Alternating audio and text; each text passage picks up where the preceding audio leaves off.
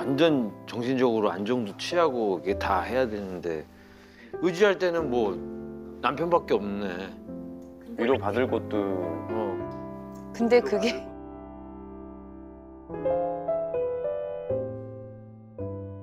제가 이제 암 수술을 하기 바로 전날 입원하기 전날 제가 너무나 감사한 그 팬분들하고 라이브 소통을 좀 했었어요. 네.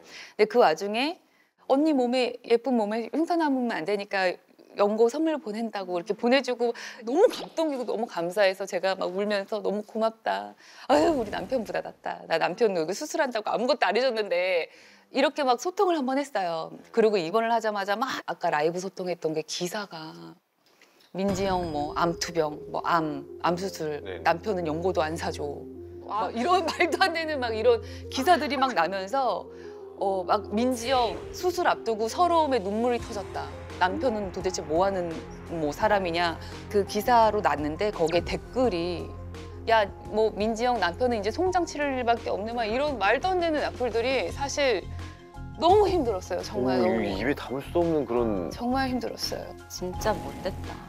이런 걸로 밤새 너무 상처를 많이 받았고 유일한 보호자인 남편이 이제 수술하러 응. 들어갈 때 같이 있어주기로 했는데 밤새 그 악플에 시달린 우리 남편도 피곤하셔서 아침에 잠이 들- 들어가지고 못 온 거야. 난 보호자 없이 수술을 한 거야.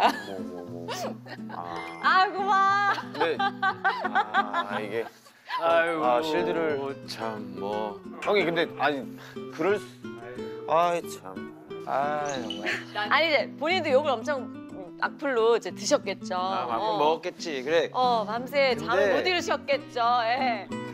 철딱 철딱서니가 없는 거야.